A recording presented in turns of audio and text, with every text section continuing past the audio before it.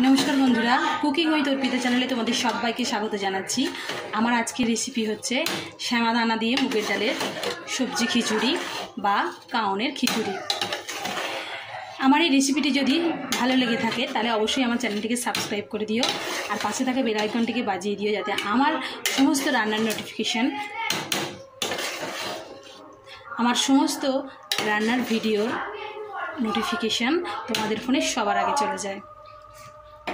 আজকের আমার রেসিপি হচ্ছে কাউন বা শ্যামাদানার খিচুড়ি।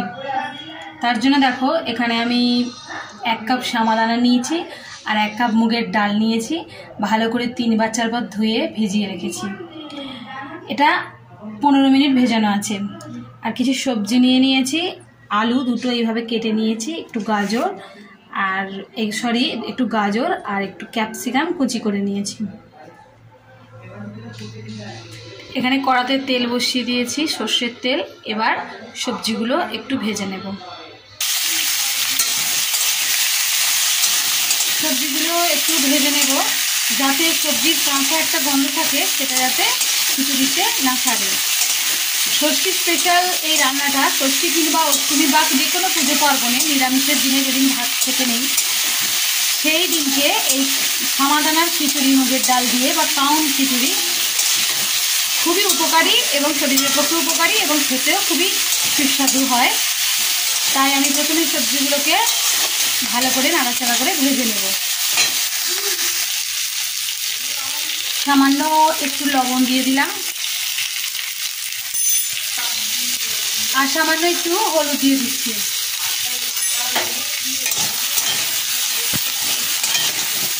দিয়ে ভালো করে নিয়ে সবজিগুলো আমি ভেজে নিয়েছি। এরপর কড়াতে আমি আর একটু সর্ষের তেল টু স্পুন দিয়ে দিয়েছি, আর কিছু ফোড়ন দেব। দুটো তেজপাতা, দুটো শুকনো লঙ্কা, আর একটু জিরে। এটা ফোড়ন দিয়ে দিচ্ছি।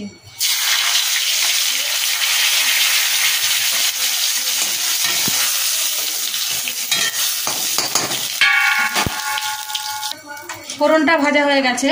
এরপর শ্যামা চালটা দিয়ে দেবো। শ্যামা দানা আর মুগের ডাল, যেটা ধুয়ে ভেজানো ছিল, সেটা দিয়ে একটু ভালো করে ভেজে নেব আরও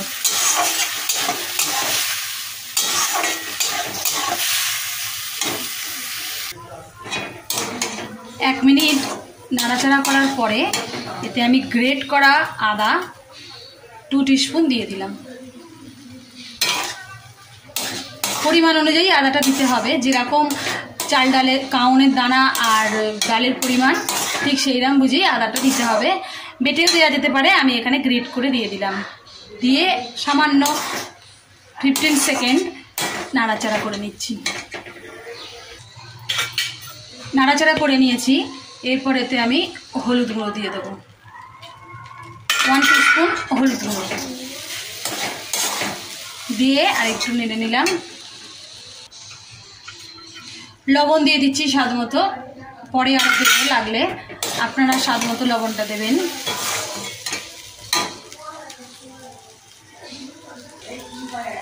ধনে গুঁড়ো দিয়ে দিচ্ছি হাফ স্পুন দিয়ে সব মশলাটা ভালো করে নেড়ে নিলাম।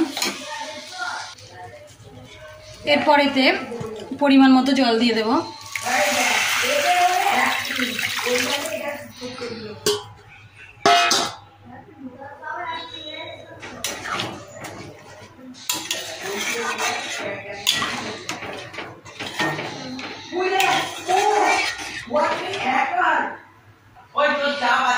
খিচুড়িটা এখন ফোটার মুখে। এবারে এটা একটা হাঁড়িতে ট্রান্সফার করে নেব।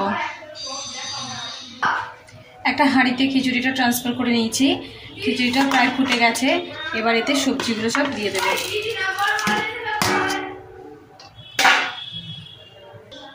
সবজিগুলো দিয়ে ভালো করে নেড়ে দিচ্ছি। খিচুড়ি প্রায় হয়ে এসেছে। এরপর এতে আমি একটু মিষ্টি মানে চিনি অ্যাড করে দিলাম এক চামচ, যাতে টেস্টের ব্যালেন্সটা খুব সুন্দর হয়। এবার একটু নেড়ে দিচ্ছি, আর সামান্য তিন মিনিটের মতো হবে তারপরেই নামিয়ে নেব। খিচুড়ি আমার একদম রেডি হয়ে গেছে।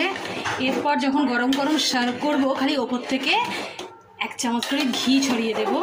তারপর আলু ভাজা, বেগুন ভাজা, আলুর দম পনিরের তরকারির সাথে বা ফুলকপি তরকারি একদম জমে যাবে।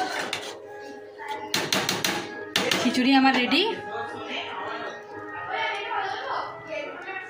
আজকে আজকে ষষ্ঠী স্পেশাল কাউন খিচুড়ি।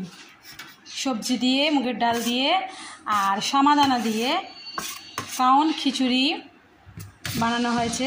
দেখে নাও। আর হয়েছে গরম গরম করকরে লালচে আলু ভাজা আর হয়েছে পাঁপড় ভাজা।